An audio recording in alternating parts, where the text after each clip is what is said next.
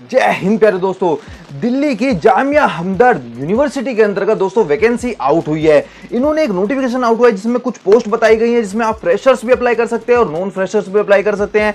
Office assistant की post है care taker की पोस्ट है लैब असिस्टेंट की पोस्ट है। ये तीन टाइप के अलग अलग पोस्ट आउट हुई है। तीनों की बाइफर्केशन अलग अलग दी हुई है। तो आज की वीडियो में दोस्तों बात करेंगे, आपको अप्लाई कैसे करना सैलरी पैकेज एज क्राइटेरिया जितनी बातें एडवर्टाइज बताई गई है, सारी अपनी वीडियो में कवर करेंगे। अपने चैनल को लाइक करो सब्सक्राइब करो वीडियो को शेयर कर देना। तो बेसिकली दोस्तों, Jamia Hamdard deemed to be university है दिल्ली की। इसके थ्रू एक नोटिफिकेशन आउट हुआ है लिंक में डिस्क्रिप्शन में दे दूँगा डायरेक्टली आप उसको गो थ्रू ज़रूर कर लेना। इसमें दोस्तों बताया गया है, जो पहले अपनी पोस्ट की बात करते हैं, जो ऑफ़िस असिस्टेंट की पोस्ट आउट हुई है। इसके लिए जो आपकी सैलरी की बात कर दो बीस हज़ार रुपए पर मंथ के हिसाब से आपको सैलरी मिलेगी और एज की बात कर तो ज़्यादा ज़्यादा आपकी जो नहीं है तीस साल।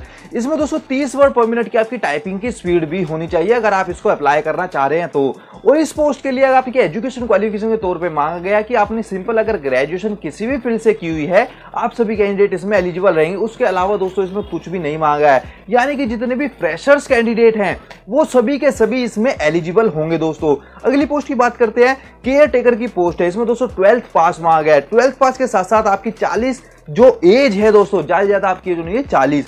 सैलरी की बात करें तो दस हज़ार रुपए पर मंथ के हिसाब से आपको सैलरी मिलेगी। और इसमें एक्सपीरियंस मांगा गया या तो ड्राइविंग का हो, या इलेक्ट्रीशियन का हो, या एटसेट्रा बहुत सारी चीज़ें मेंशन है, वो आप एडवर्टाइजमेंट में लीड आउट कर लेना, उसका लिंक मैं डिस्क्रिप्शन में दे दूँगा गो थ्रू ज़रूर कर लेना। अगली पोस्ट की बात करें लैब असिस्टेंट की पोस्ट है दोस्तों। अगर आपने बैचलर्स इन साइंस और एक्सपीरियंस है आपके पास, देखिए दोस्तों अगर आपने बैचलर डिग्री ले रखी है साइंस साइड से, या आपने डिप्लोमा किया हुआ है तो आप एलिजिबल रहेंगे। इसमें कंप्यूटर की नॉलेज होनी चाहिए और 30 साल आपकी ज़्यादा एज होनी चाहिए और बीस हज़ार रुपए पर मंथ के हिसाब से आपको सैलरी मिलेगी।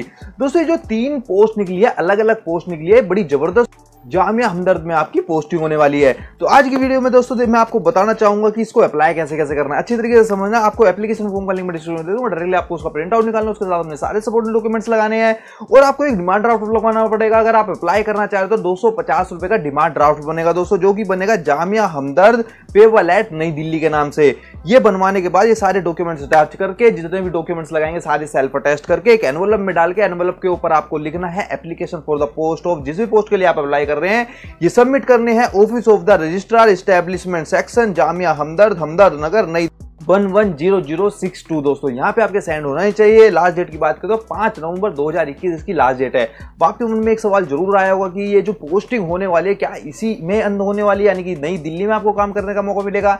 एडवर्टाइजमेंट के नीचे वाले सेक्शन में साफ़ साफ़ एक चीज़ मैंशन उसमें मेंशन किया गया है दोस्तों कि आपका जो प्लेस ऑफ़ पोस्टिंग होगी, वो होगी Hamdard vocational knowledge centre video कैसे लगी दोस्तों? आप कमेंट सेक्शन में ज़रूर बता सकते हैं। थैंक यू सो मच दोस्तों फॉर वॉचिंग माई वीडियोज़